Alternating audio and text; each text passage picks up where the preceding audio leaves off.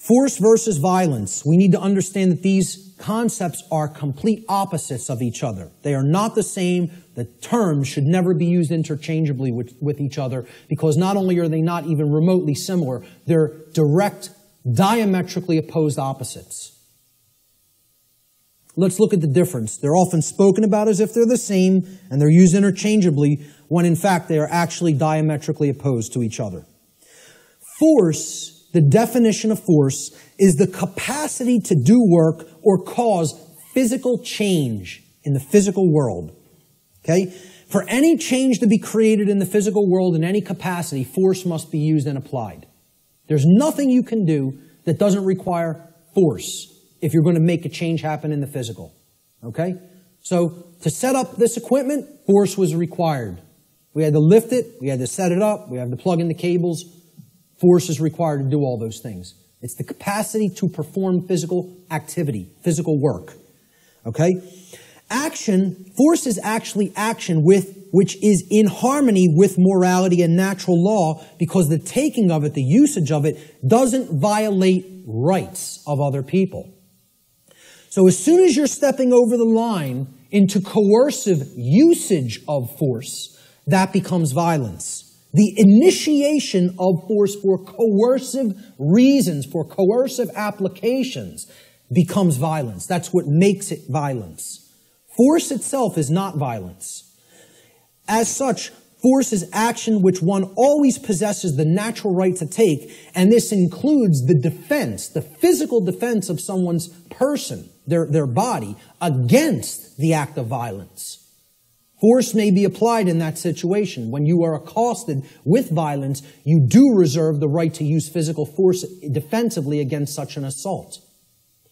Violence, on the other hand, and this is the key to keep in mind with violence, it is the immoral initiation of physical power to coerce, compel, or restrain unrightfully. No one has the right to ever enact violence because violence is always starting it. Initiation, that's the key word there. It's the immoral, the unrightful initiation. So, you know, teachers in schools will, you know, if there's a skirmish that happens between a couple of male students one day, they'll say, it doesn't matter who started it. All that matters is who started it. All that matters is who started it. All that matters. Because the person who actually conducted violence is the person who struck first. They initiated the immoral use of physical behavior, of physical force, to co- physical power to coerce, compel, or restrain. Therefore, when the person beats back that physical assault with force, they have not committed an additional wrongdoing. Okay? It's difficult for many people to understand who are in right brain imbalance they don't want to acknowledge that you maintain the natural right to use force when you are accosted with violent behavior. If someone just came up to me on the street and started swinging, okay, because they want something I have, or just because they don't like the look of me for whatever reason, they don't have the right to do that. If I replied by beating back their attack with sufficient force to put that action down, how many wrongdoings would have been committed? One. Correct. One, not two. One. Because I maintain the right to defend myself with physical power, with physical force when necessary, when violence, meaning someone else started the immoral behavior. That's what matters, the initiation. Who started it is all that matters. All that matters. And again, it's a very difficult thing for the ego to comprehend. The ego doesn't want to hear that. It's been conditioned so long that responding with force is also violence. We, we are verbally and mentally equating these two things. And when they, in fact, they are actual complete opposites. Okay, if somebody, if, if, if a kid got hit by somebody else in a school, and then that other kid said, maybe even said once, stop what you're doing, and then when the other kid wouldn't stop, he punched him and knocked him out. Okay? I would ask other people, who's, who, who struck first? And if the kid lying on the floor struck first, I'd say you got what you deserved. That's it. Because that person had a right to defend themselves. You had no right to strike him. You initiated the violence. He responded with defensive force. Many people don't want to hear that because they're very conditioned. And I'm not saying you have to do that. You also reserve the right not to do that. But the right does exist. Both things, both rights exist. You would have the right to not respond with physical force, but you would have the right to respond with physical force. See, that's a free will decision that the person has the right to choose between those actions. I don't even look at either one of them as the high road. You know? Personally, I think if somebody keeps beating somebody and keeps conducting violence to them, and the other person keeps accepting it and ne- never rebels against it and never uses any force to put it down, I almost look at that as the low road. I'm not a pacifist. Not a pacifist. Okay? I am 100% about nonviolence, meaning don't initiate harm to other people. Don't start it. Don't start none, won't be none. In street lingo. That's how, that's how it really is. Okay? But if somebody else starts it, they're asking to be put down with uh, the amount of physical force that is required to put down the act of aggression. Violence is coercive action. See, that's the key. It's always coercion. Saying, you're going to do what I want you to do, or then I'm going to strike. Then I'm going to commit the act of violence. It's coercive. It's action which is always in opposition to morality and natural law for the very reason that it involves the violation of others' rights. That's why it's called violence. It's a violation. The act of violation caused, it resulted in violence. Your rights have been violated. That's why it's called violence. It's the same root word. Violence is action which one never possesses the right to take, ever.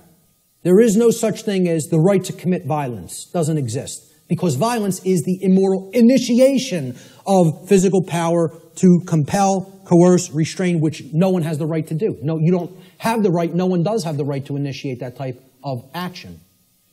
Force, on the other hand, there is a time and a place to exert that force in a defensive capacity. All right, so we'll talk about that here.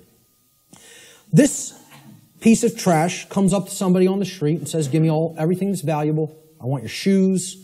Oh, they're leather? Take them off. Take the wallet out, all the jewelry. Give me your purse. Give me your wallet. Okay? It's called a thug. Nobody would believe he has the authority or the right to do that, and we would have the moral obligation to obey this criminal. You know? You know, if the criminal started calling himself government, we might start believing in him. Right?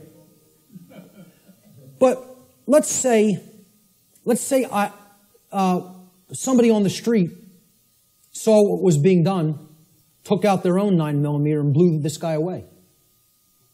How many acts of violence were committed? One. One. But, but what I understand. But again, that's somebody saying, I prefer not to see it that way.